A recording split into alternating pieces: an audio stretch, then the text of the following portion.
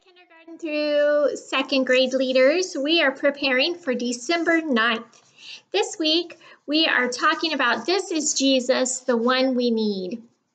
As we look at all of the accounts of how Jesus came into the world, one of the things that humbles me, and definitely I know humbles many of you, is knowing that Jesus was born in the most humble beginning. He was born in a barn type thing um, in the middle of probably not the greatest it just it wasn't perfect. It wasn't the perfect situation. Um, and so all, all of that is to help point us to show us that god brought Jesus to be to be a servant and to um, be the one that we need. That he didn't come to be this grand big king like many of us, like many people were looking for at that time. He came to be a servant and to serve us and to be there to die on the cross for our sins.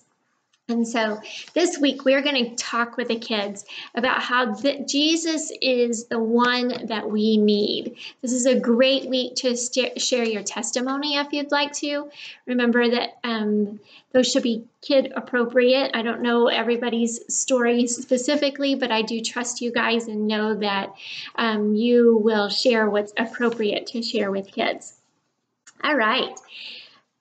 Your social activity, you'll have some dice on your table. Your kids are supposed to throw both of the dice at the same time, and then you may have to help them, um, but they're supposed to do um, both of the actions on there.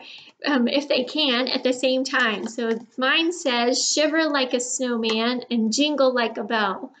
So while you're shivering, jing jing jing jing jing jing jing, it's kind of like a bell. So let kids have fun with that. Then we'll move into large group and um, sing our Christmas songs together. After that, you'll move into small group. And your small group time um, should be a fun activity today. You are going to have a piece of paper that looks like this. It says breaking news story at the top. Another piece of paper that looks like this and a bag of Play-Doh. You'll also have some candy canes, and I'll get to that in a minute. So what you're supposed to do is give each kid just a kind of a lump of Play-Doh. And as you read the story, kids are supposed to place Play-Doh down on the hands when they think that in the story there was a time every time you hear someone in the story doing something wrong then you're going to take a piece of Play-Doh and smush it onto, this is called a friendship card.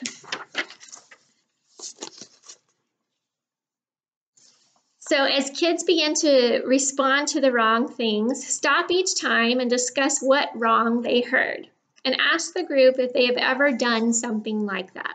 At the end of the story, place all the Play-Doh back in the container and give each kid a piece of candy.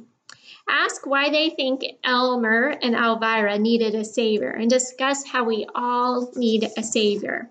So what we are hoping kids see through this cute little story about some elves is that all of us could be like Elvira and Elvis and do wrong things. And so we needed a savior to come and rescue us so that we don't have to live in our wrong things and those wrong things continue to separate us from God.